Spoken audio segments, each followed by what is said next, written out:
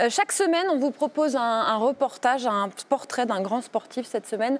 Loïc Perron, la star de la voile, dernier vainqueur de la route du Rhum, euh, le skipper qui collectionne euh, les trophées. Entre autres, il a remporté le trophée Jules Verne, trois fois la Transat anglaise. Il est arrivé deuxième du vent des globes. Alors comment on fait quand on a tout gagné? On en parlait avec vous, messieurs. Eh bien, on se lance de nouveaux défis. En tout cas, c'est ce que fait Loïc Perron. Cette année, il va participer à la route du Rhum, mais sans GPS sur un bateau qui a remporté cette course il y a 40 ans. Reportage de Louis Villers.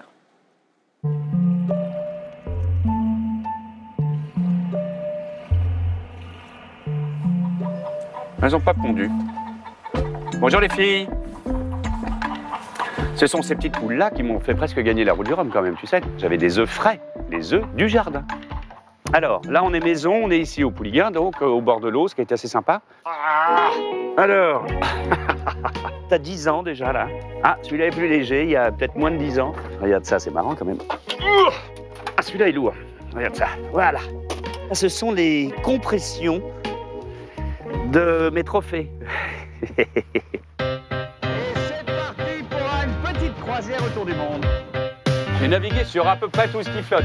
Sur des petits bateaux de 6 mètres 50, sur des multicoques beaucoup, sur des grands monocoques, sur des bateaux de la Coupe de l'Amérique qui volent, sur des trimarans, des catamarans, des monocoques autour du monde, en solitaire, en double, en équipage. Euh, je ne vais pas dire que j'ai tout fait, mais j'ai pas beaucoup navigué sur des vieux bateaux.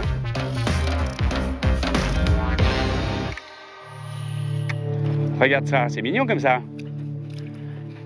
Donc je crois vraisemblablement que je dois être euh, une fois de plus le seul concurrent de la route du Rhum à venir à pied sec sur mon bateau comme ça, marée basse.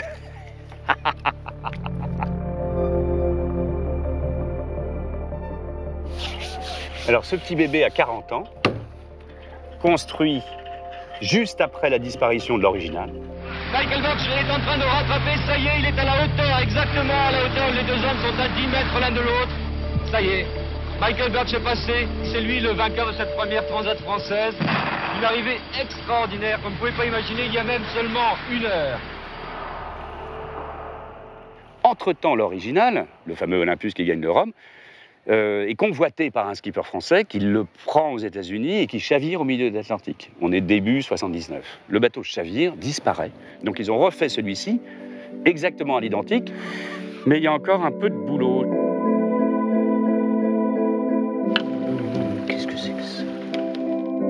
Il y a des gens qui m'attrapent sur le port en me disant Mais monsieur Perron, mais vous n'avez pas une équipe pour faire ça? C'est vous qui nettoyez votre bateau? Bah oui C'est moi qui passe la tondeuse dans mon jardin, vous savez C'est vrai que les footballeurs font pas ça eux-mêmes, mais les marins, oui. Un, parce qu'on n'en a pas les moyens. Deux, parce qu'on apprécie le plaisir. De l'autonomie. Et alors là, pas beau ça? Je suis pas le seul hein, à préparer mes petits bateaux tout seul, mais comme j'avais envie, une fois de plus, de renouer avec mes premières amours, mes premières transats en solo, quand j'avais 19 euh, ans, la mini, sur des petits bateaux de 6 mètres 50, c'est pas pour être ancien combattant du tout, c'est juste parce que c'est un, vrai plaisir que de pouvoir euh, gérer un peu des petits, des petits tracas du quotidien d'un bateau tout seul. Et puis arrive un âge, d'ailleurs, où tu peux plus vraiment faire grand-chose. ou du moins l'aspect physique est assez important et ce qui fait que on ne peut pas continuer à naviguer de la même manière quand on a euh, presque 60 piges ou quand on en a 30.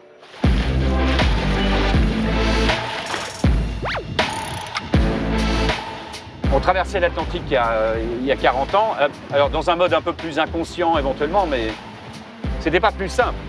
C'était plus difficile, les bouts étaient moins fiables, il y avait beaucoup plus de problématiques mécaniques, mais on allait quand même vachement moins vite. Et la vitesse, c'est euh, un facteur de complexité, un facteur de stress. Et on va donc 3 à 4 fois plus vite maintenant. C'est énorme. C'est comme si une Formule 1 allait à 800 km/h aujourd'hui par rapport à il y a 40 ans. Il faut pas oublier ça. Donc évidemment, quand ça se passe lentement, moi j'ai l'impression de naviguer au ralenti, en slow motion, sur un truc comme ça.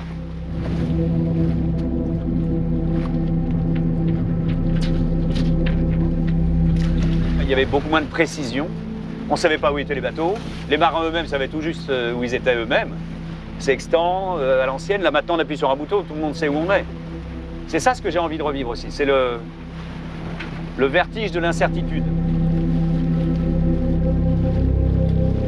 Là par contre le vrai bonheur c'est de retravailler avec de la carte papier. Ce qui m'amuse, c'est la non-précision. Quand on est sur des bateaux suffisamment lents, c'est un vrai bonheur. Faire la même chose au sextant sur un bateau de course, entre guillemets, d'aujourd'hui, ce serait hors de question. Ça présenterait aucun intérêt, ce serait dangereux, frustrant, euh, ça présenterait aucun intérêt, mais là, c'est passionnant. Ok. Parfait. C'est vrai que je vais être le premier vainqueur d'une course, détenteur, actuel détenteur du titre et du record, à euh, prendre le départ de l'édition suivante en étant sûr de la perdre. Louis Villers nous a rejoint sur le plateau du Canal Sport Club. Bonsoir Louis, merci beaucoup d'être là. Alors pour bien comprendre Louis, euh, le bateau de Loïc Perron, celui qu'on voit dans le reportage, quelle taille par rapport à celui euh, avec lequel il a gagné la course il y a 4 ans? Donc le petit jaune qu'on voit, il fait 14 mètres. Il y a 4 ans, Loïc il est parti sur un bateau qui fait 31 mètres. Il y a un autre chiffre qui est intéressant, c'est la surface de voilure. Par exemple, la grand voile sur ce bateau-là, elle fait 30 mètres carrés. Et sur le gros bateau, elle fait 350 mètres carrés. La voile, c'est un peu le moteur du bateau. hein. Ça vous Ouais. donne une idée de la, de la progression aussi de la vitesse. Mais du coup, il va mettre combien de temps pour traverser l'Atlantique? C'est difficile de le savoir. Euh, On rappelle quand même que la course est Saint-Malo, Pointe-à-Pitre. Saint-Malo, Pointe-à-Pitre, donc traverser l'Atlantique. En 78, Mike Birch a mis 23 jours, donc on peut imaginer qu'il va être à peu près dans ces eaux-là. Après, ça dépend de la météo, évidemment. Alors, il traversera plus l'Atlantique sur des gros trimarans, c'est ce qu'on a compris dans, dans le reportage. Est-ce que ça veut dire qu'il est condamné à naviguer sur euh, des tout petits, des, enfin, des anciens bateaux? Il n'est pas encore à la retraite, hein, Loïc Perron. Il continue des projets, notamment sur la Coupe de l'Amérique. La Coupe de l'Amérique, c'est le top du top en termes de technologie euh, euh, dans la voile. On voit ces bateaux qui volent, c'est hyper impressionnant. Et Loïc, lui, euh, quand il n'est pas sur l'eau, il passe ses journées euh, derrière son ordinateur à essayer de dessiner des bateaux un petit peu futuristes. Et naviguer, renaviguer sur ces anciens bateaux, pour lui, ça lui donne aussi beaucoup d'idées pour imaginer euh, les bateaux de- de demain. Donc, en gros, vous l'aurez compris, en fait, c'est un grand sportif qui, qui revient à la source. Est-ce que vous comprenez ça, cette envie? Oui, pour le coup, lui, il se challenge dans son sport, dans ce qu'il maîtrise. Ouais, Même si c'est avec un outil obsolète, il le, fait, euh, il le fait par passion surtout. Donc là, à la rigueur, ça me choque moins, parce que je pense qu'il a envie d'apprécier aussi ce moment-là, parce qu'il va forcément l'apprécier, parce que ça va durer beaucoup plus de temps que s'il le faisait avec un bateau, un bateau sophistiqué.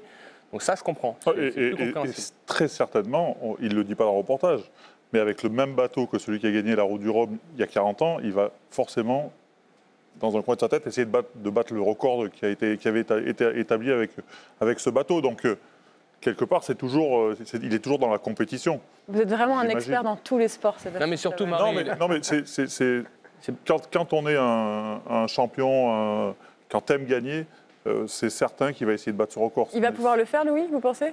Ah, C'est le peut-être, même bateau. peut-être, il peut, il peut le faire, bien sûr. Après, ça dépend de la météo. My Birch, c'est son idole. Je lui ai demandé, moi, si justement refaire cette course avec ce bateau, c'est une manière d'essayer de battre My Birch. Il me dit que non. il aura le temps de Il, met- pêcher. il mettra le frein à main s'il est en avance. tu Ça va penses moins vite. Il peut pêcher ou pas Non Oui, certainement. Non, c'est pas possible. Ah, vous n'avez pas la réponse à la question. Il aura le temps de pêcher. si- Oui. Il aura le temps de dessiner et il aura le temps de lire. Voilà, c'est l'essentiel, la lecture, vous savez, Habib.